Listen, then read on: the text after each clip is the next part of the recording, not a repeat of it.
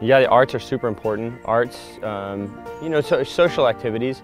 Kids are good for about 20 minutes at a time learning things. All of us are. And so it's important to focus that time correctly and then to give other things to take your mind off that for a little while.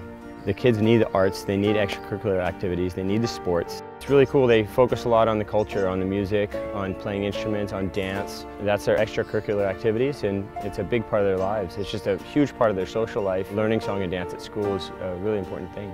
If we were to lose the arts, if we were to lose music, dance, things like that, I think it's detrimental to people's quality of life. I think it's detrimental to their learning process. A lot of the things that make school fun, people don't put such an emphasis on. They don't think that's learning, but actually the things that, that make school fun are the things that cause kids to want to be there and to focus in other areas.